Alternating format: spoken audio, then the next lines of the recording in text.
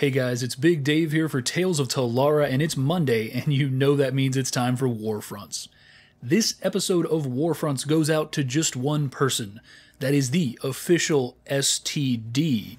If you've been watching my videos recently, you should have noticed that the official STD is constantly requesting warrior footage, and indeed, he is getting his wish right now. This is my level 23 Beastmaster spec'd Defiant Bahmi Warrior. This is the library of the Runemasters, and this is going to be a pitiful excuse for a game. I played about four or five games on my warrior before this recording to try to sort of warm up, and this was the one where I looked the least like a fucktard. So, uh, yeah, that's not to say that I looked good, it's just the one that was the least embarrassing. So, we are going to start off quick and we are all going to run to one side like a like a flock of birds who all just sort of do what they're supposed to do without communication at all.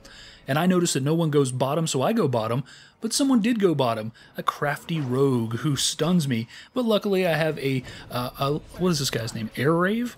I have a, uh, a helpful teammate who decides to pick up the relic, and uh, I do go down pretty quickly. And you're going to notice something here. In the center of my screen, or the lower center, there is a button with a timer counting down. And uh, I'm going to have some trouble getting that off of my screen for the entirety of the game, pretty much. So I jump down in a heroic fashion, and immediately I'm gang raped by these five or six dudes who uh, put me right back into uh, the nice bluish death screen almost as quickly as I got out of it. So we are regrouping. We we are trying to uh, trying to get things going again. And the theme of this episode that's going to emerge very quickly is man melee is really different than ranged. Some of you guys who've been watching Warfronts for a while may know that mm, I think it was about six months ago. I decided to focus my content on Warfronts, and I limited myself to only playing with my mage and with my rogue. My rogue, of course, is spec'd into Bard and marksman, which means that everything I play is ranged. So I haven't played a melee class in about six months. Does it show? I think it does. I'm trying, you know, uh, keeping the backpedaling to a minimum. I'm making sure that my camera is nice and zoomed out so that I can do all my fancy maneuvers and my circle strafing and all that stuff. But in the end, it's not all that effective. I have a, a, long way to go before I feel comfortable with a melee class, but uh, I'm trying to get there. I do enjoy the warrior. This is my PvE spec with Beastmaster, so I don't know the effectiveness of it as a PvP spec.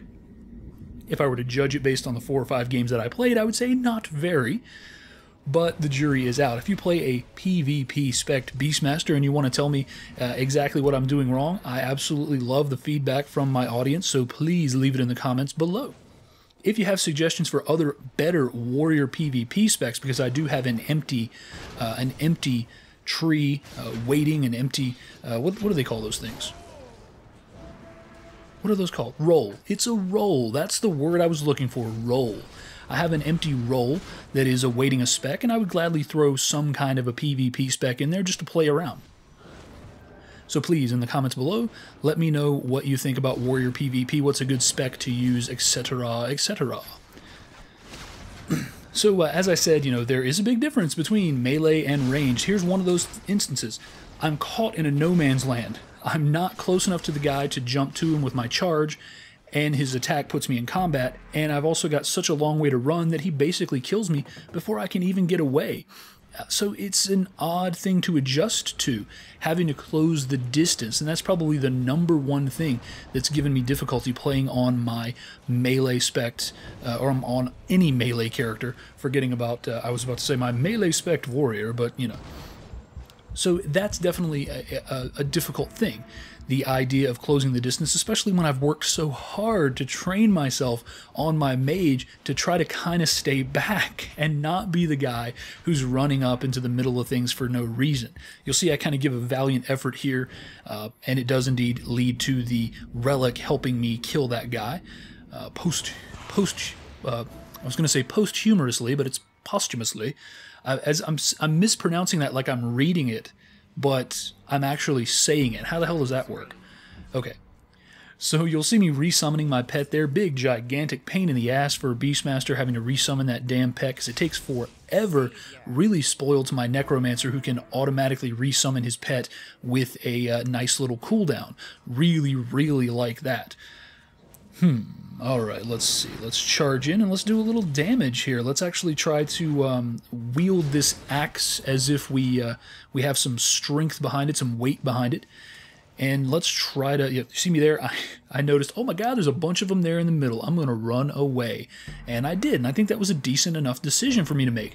Uh, the idea that, hey, uh, I can't close the distance on those guys. And even if I do, there's a fuck ton of them there. So I'm really just going to get destroyed if I do actually make the leap. Now, once they start to break down the stairs, you'll see me actually do something smart using line of sight. What the hell? You know, it's almost as if I half know what I'm doing and the other half of this video will clearly make you realize that I don't, but, uh, you know, even a blind squirrel gets a nut every now and then, isn't that what they say?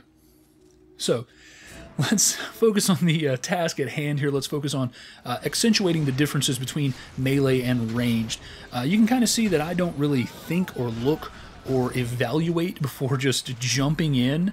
Uh, really outnumbered here, but I jump in all the same to try and do anything to get a kill, to do some damage. And I can definitely say that I'm not a giant fan of the fact that the Beastmaster spec relies on bleeds. I mean, it's it's good because when you do get a runner, it means that you might get a kill as they run away, but it means that I can't swing that axe and just cleave someone's head clean off. You know, I just can't I can't knock them out of their boots with one swing and I really want that out of a warrior. That's the way that I want to feel. You know, I want to feel like a, a tough guy that can take you down with my mighty giant axe, even though that axe I have is kind of kind of wimpy looking, but uh, you know what you know what I'm saying. I mean, you get you get my, my idea, even if my props don't necessarily support it.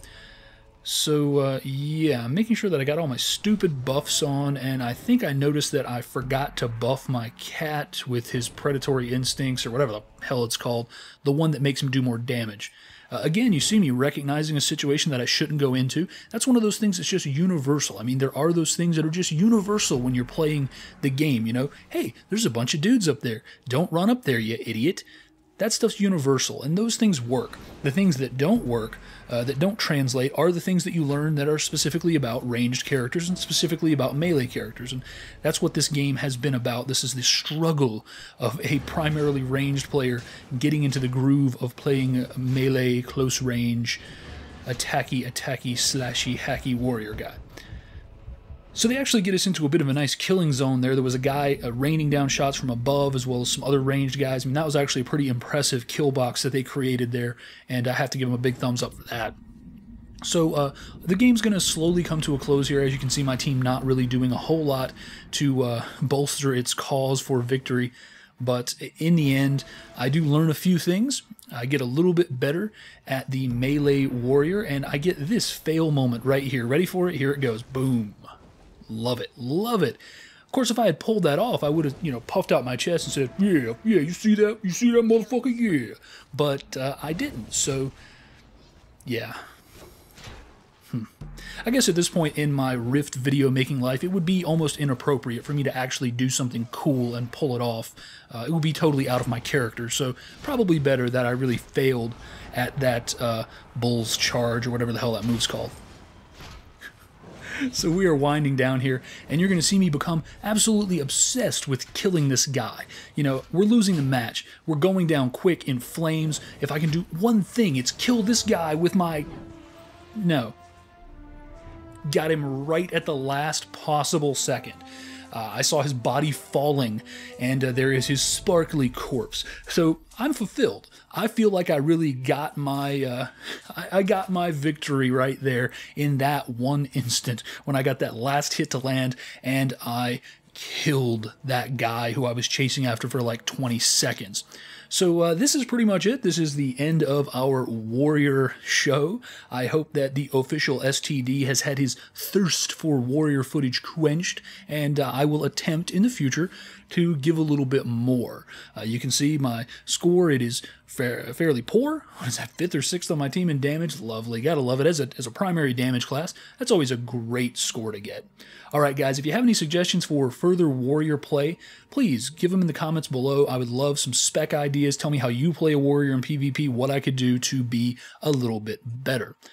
I think that's going to do it for this episode, guys. If you have any suggestions, any particular characters that you want to see played, give it to me. I mean, I don't care if you want to see a cleric, I'll play a cleric every now and then. If you want to see the warrior again, I'll play the warrior again at some point, though I am trying to focus mainly on the mage and the rogue. I've also had some folks requesting that I try out the saboteur spec on rogue, and that's something that I do plan to do in the very near future. I want this show to be about you guys and what you want to do, as well as being about what I enjoy. So, uh, you know, if you say, hey, I want you to play, I want you to quickly level your warrior to 50 so you can play level. No, I'm not going to sit here and level my warrior to 50 just because you want me to. But if you want to say, hey, I just want warrior content of any kind, like the official STD did, please go ahead and do it. I will try my best to fulfill your every wish, your every dream. All right, guys, I have been Big Dave, and until next time, take it easy.